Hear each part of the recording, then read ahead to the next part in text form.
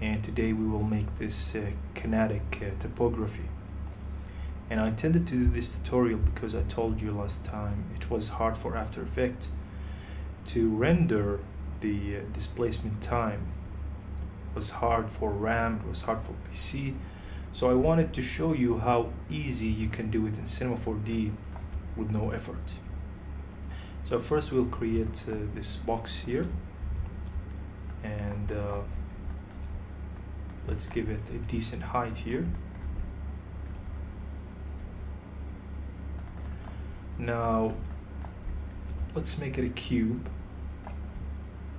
So it's 200 by 200 and we can you know even bring it more the height. Now I'm gonna press M and D which is the shortcut for uh, quick shading lines. So we can view the lines and you can hide the uh, the grid. And you can press G also. You can hide the grid here. See it much better. Now let's give it a segment um, on the y-axis so I'm gonna give it about 30 that's right and then we will go to uh, bend and let's go to twist. I'm gonna throw the twist inside the cube and let's fit to parent. Now if you change the angle I have something similar to After Effects. I'm gonna rotate it the cube not the twist. Let's rotate it and press shift so you can uh, rotate it uh, 90 degree. And also let's create a camera. So I'm going to create a camera here. Now let's go to camera and view the camera here. Alright. Now it's up to you if you want uh, to increase the twist. So you can increase the twist or decrease by the angle here. Now the next thing we're going to do is we're going to convert the cube uh, to editable uh, poly. So I press editable poly and now uh, you can start editing the cube if you want but you don't want that. But now we just need uh, to uh, go to now let's apply really the material uh, to the box. And if you want to rotate it also we're gonna go into uh, graph effector and there's the time effector. I'm gonna throw the time inside the cube. Now nothing really is happening. That because you need to set the deformer to object. And now if you play it's rotating. Now let's make it about 200 so as you can see there is no key and it's looping very nice. Now if you want to edit the speed of that you can go to time and go parameter. Right now it's turning 90 if you make it 200 it's going to rotate it uh, faster. But I think that 90 is very good.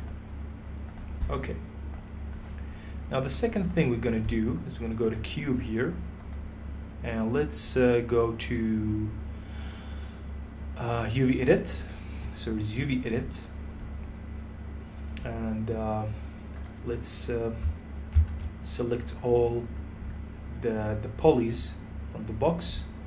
And we're going to choose the projection now to project the text.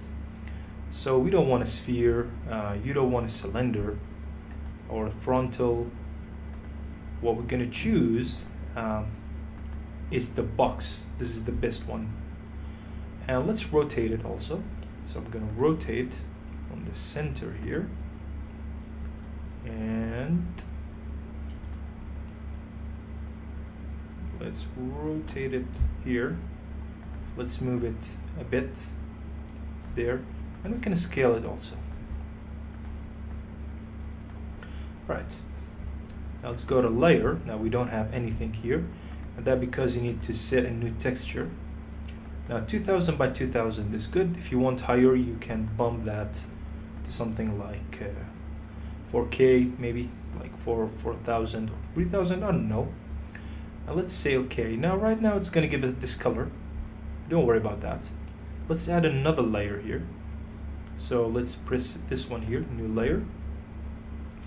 And we want to do um, is want to go to layer and let's uh, outline polygons. And right now we have an outline for that. No, it's a white. Now let's save the texture.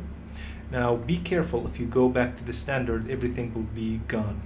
So just save it right now.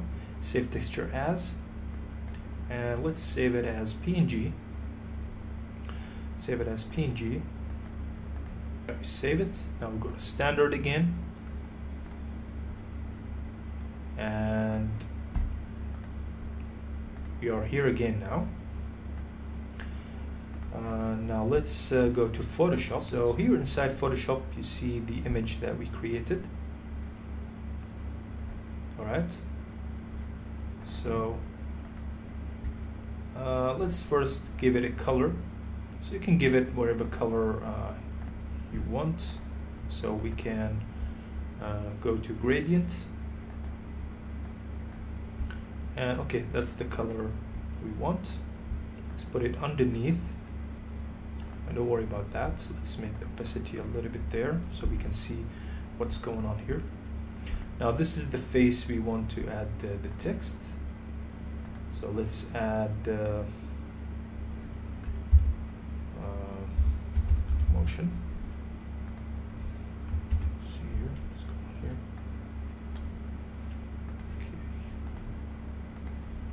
again.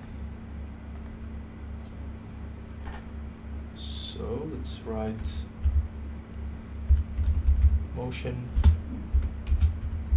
cube. Tutorial. And again motion. Right now let's change uh, this to white and let's paste it. Scale it up. And now let's bring it down to the other face. And let's rotate it also. Let's put it uh, properly on the place it properly on the face of the polygon here. I'm gonna hide that and we have that Let's save it. All right, back to Cinema 4D now. Uh, we're gonna open the text. So here's the map.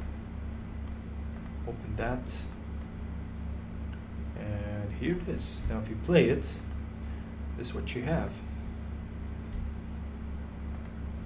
And bring the camera just a bit there. Play.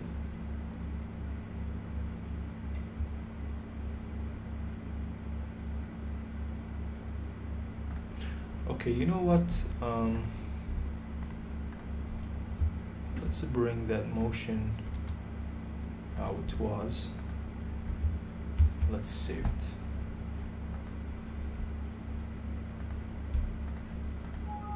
Yes.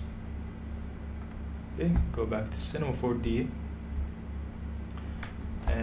let's reload this map here.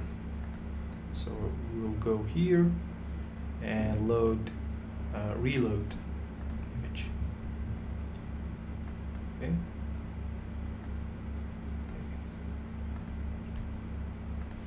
Here.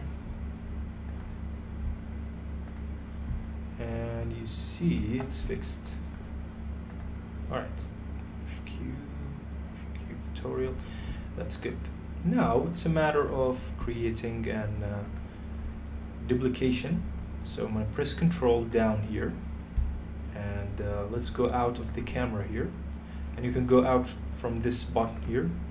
So here's the camera, and here's the other object, and you can um, rotate it to the other side here go back to camera and we can scale it up here. Uh, bring it to the Z more scale it. And you have something similar to what we created before. All right okay now I forgot to add something and that is the uh, the the bevel. So let's throw a bevel uh, right inside this one. Now go here and use angle. And you can apply the bevel as you can see here. Now we're gonna copy that and throw it right inside that box.